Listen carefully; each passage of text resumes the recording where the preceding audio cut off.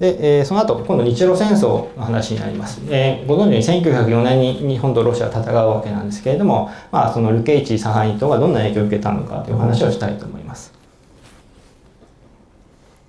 で先ほど言ったようにちょっと日本人の話が出ましたけれどもロシア領になったんだけれども日本人漁業者たちがサハリン島に働きに行ってたわけですねでそこで実はカラフタインダシと関係を持っていますで先ほど出た写真のこのピューツスキのですね横にいる人が千徳太郎寺と申しましてえー、お父さんは日本人なんだけれども、お母さんはカラフトワインという方です。で、カラトチーマ交換条約で一回日本にか、日本に来たんだけれども、やっぱここじゃ暮らせないということで、お母さんと20年後にですね、サハリン島に帰った人になります。えー、1905年にはですね、ロシア帝国の国籍を取得しています。でカラフタイヌってどうやって暮らしてたんだろうかというと、まあ、漁業がメインで次が狩猟でで最終で農耕っていうのはあんまりしてなかったというふうに言われています。おそらく米とかそういうものは日本人からもらえるわけですから、まあ、自分で別にそういうものを作らなくてもいいという考えだったのかもしれません。で幸い90件ロシア側がですねサハリン島漁業仮規則というものを発布します。これねどういうものかと言いますと、日本人漁業者が、やっぱり日本人の漁業が上手なわけですから、日本人がどんどんどんどん漁業を支援してくる。で、昆布とかロシアに食べないわけですけど、日本人は昆布が欲しいわけですね。昆布を取りに行って、どんどん日本人が来てしまって、このままだと日本人に経済的に支配されてしまうということで、えー、どうにかしようといったロシア政府側が、えー、日本人漁業者にはもう漁業権あげません、認めません。で、ロシア帝国市民でなければ漁業の経営権あげませんよというふうに取り決めをします。その結果、日本人たちは排除されていくわけなんですただ一方で、この段階でロシア国籍を取っていたカラフ隊員たちがいましたので、で彼らはロシア帝国市民ですから平等に権利をもらえるので、漁業経験をもらえたわけです。で、じゃあどうするかというと、それまで一緒にですね、あ、こういう形のトムトムランケとか元犯人で、この5人が有名な人々になります。で、それまでですね、日本人と一緒に漁業やってましたから、じゃあ名義貸ししてあげるよみたいな形でですね、日本人と一緒に漁業経営する。で、カラフタネは資本がないわけですね。お金がない、船がない、網がないわけですから、日本側が参加してくれた方が自分たちも得意になるわけです。ということで一緒に漁業経営をしたりする、まあ、共存共栄の、ね、考え、生活があったというわけです。で、まあそんなような状況があったんだけれども、日露戦争というのが始まってしまいます。1904年に開戦した結果、まあ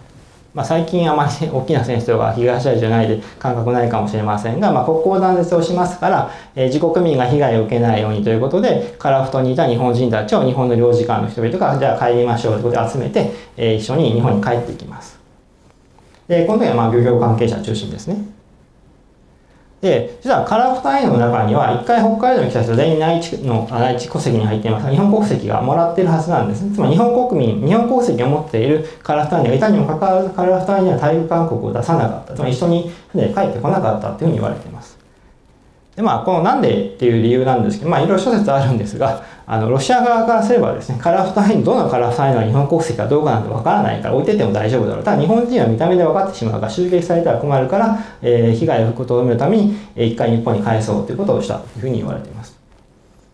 でさらに戦争が始まってくるとですね、えー、サハリン島にいた、えー、ロシア人たちっていうのがですね、えー、大陸側に逃げていく状況が生まれます。あすみません。これはじゃあちょっと飛ばしてしまった。日露戦争で日本軍がサハリンというのは1905年になってからなんですけれども、まあ、自主避難の人々は日本軍に占領されてからですね大陸に送還された人々もいます。じゃあなんで日本軍はねそこに住んでいるロシア人たちを大陸に送り返してしまったのかというと一つは日本側にちょっと誤解があります。あの住民っていうのはみんな囚人だからみんな大陸に帰りたいんだろう。だから帰りしたら喜ぶだろうと思っていたのが一つあるということでこれは当時のですね記録からもそんなふうに本気でそう思っています。ただ先ほど言ったようにサハリに囚人で来たんだけどこのままここで暮らそうと言って農地をいっぱい作った人たちにいたので実は全員が全員帰りたかったわけじゃなかったというふうに言われていますし実際残った人もいます。でさらにまあこれは大きな理由ですがあの軍隊対軍隊の戦いというよりはサハリン島住民の男性が全員駆り出されてですねそれと日本が戦ったという公式なのでもう男性全員がある種敵なんですね。ということで、なるべくです、もうみんなを返してしまい、誰が日本に抵抗するかわからないということで、とにかく返したいっていうのが治安上の問題で返したい。でもう一個は、あの、サハリン島というのは実は自給自足が全然できない土地になりますので、日露戦争が始まってしまって大陸との物流が途絶えてしまうとかなり危機に、飢餓に近い状況に陥ってしまった。ということで、食料がない日本政府もですね、なんでロシア人のために食料をあげなきゃいけないんだってこと、じゃあ追い返してしまいということで、日本日本が勝手にどんどん送り返してしまったというふうに言われています。でその結果ですねそれまで4万人とかいた人口が北部は6000人ぐらい南部に至っては300人以下にも減ってしまうという状況が起きます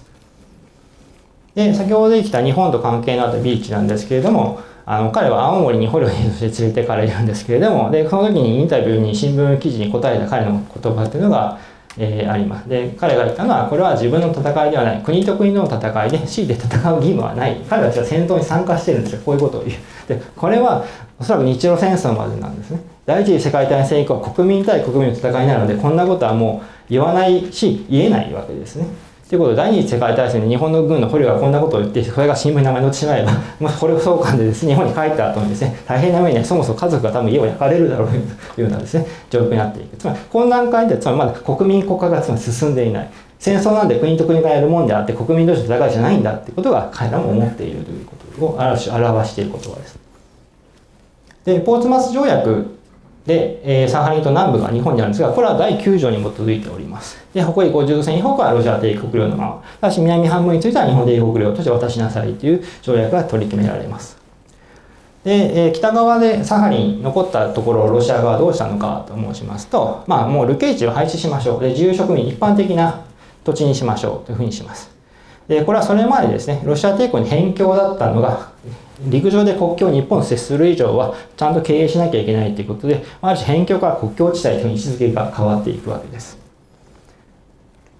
まあ結果としてはですねあのサハリン州っていうのを作りまあ北しかないんですがサハリン州っていうのを作ってその対岸部分もくっつけた形でサハリン州っていうふうに呼びます。だから今我々が考えると島ね我々だから島を越えてですねちょっとだけがなんか他の同じ州になると変な感覚をしてますが当時からするとですね明らかにそのえー、船で行き来しているわけですから、まあ、ここは一つの単位とすることはとても合理的なことであったわけです。じゃあ南側どうだったのかと言いますと、まあ、ちょっとこれは飛ばしますけれども、まあ、カラフト城という役所が作られます。でただしあこんな感じの建物ですね。まあ、立派なもの明らかにもはや開拓して全部一回多分木を切って木を切るない草をなぎ倒してですねローラーかけて平らにして 区画を切ってポンポンポンって建物を建てていくっていういかにもこう植民地という感じで開拓地という感じの写真です。で樺太町というのは例えばその京都府とか東京当時東京市ですね。東京市とかとは全然違うシステムになっていて、まあ、台湾とか朝鮮のようにですね。あの長官っていうのが長官、まあ、総督っていうのがいて彼ら法律まで作るような権限があるわけではないんだけれどもちょっと特殊な総合行政特別会計例えば樺太の森林については農水省は全く口を出せないわけですね。樺太町が単独で管理をしているから森林法も適用されないっていうところになってました。で、まあ、この結果ですね、まあ、日本人の移住というのをカラフト町は進めていくことになります。